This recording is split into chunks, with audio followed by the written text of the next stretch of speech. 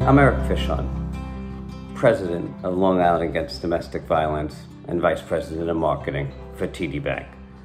I'm humbled to be a part of LI Against Domestic Violence for over 20 years and board president of a phenomenal board of directors. I work with the staff and the board of this organization to fight domestic violence across Long Island. I'm part of this organization because no person in any relationship of any race, of any sexual orientation, deserves at any time to feel unsafe in their relationship. No one deserves to be a victim of abuse in any which way, shape, or form.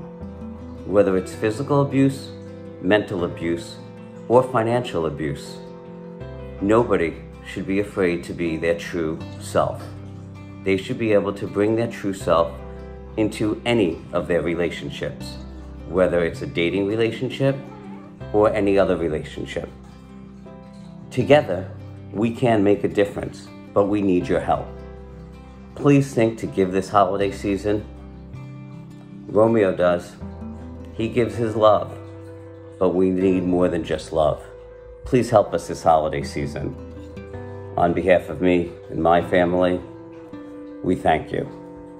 And we're wishing you the most blessed holiday season on behalf of all the board of Long Island Against Domestic Violence and me personally.